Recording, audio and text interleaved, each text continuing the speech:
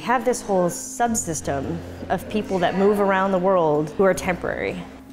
They have different rights, they have different realities, and they have different protections. And this troubled me, and I really wanted to understand it better and how in a country like Canada that could happen.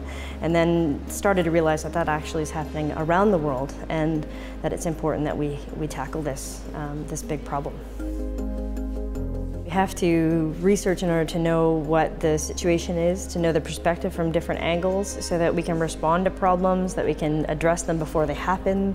Collaborative research strengthens sort of robustness of the design and the studies that you do to be able to bring in uh, different stakeholders, different individuals. If you involve a community group in the research design, then they become more invested in helping make change. Students have been involved in, in my research and actually been pivotal to my research since the outset uh, here at Laurier. They get to do everything from the you know, grant application process, the writing of proposals, right through to the data gathering, to uh, sitting at a booth and trying to get people to donate to migrant workers.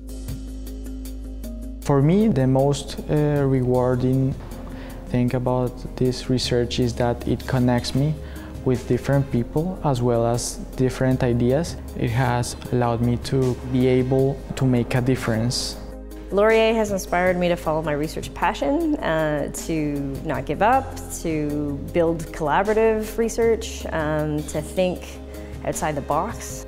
People can come together, have great ideas, and actually make them happen. I think it is an exceptional place. I think that if that's what makes for cutting edge, then that's what we are.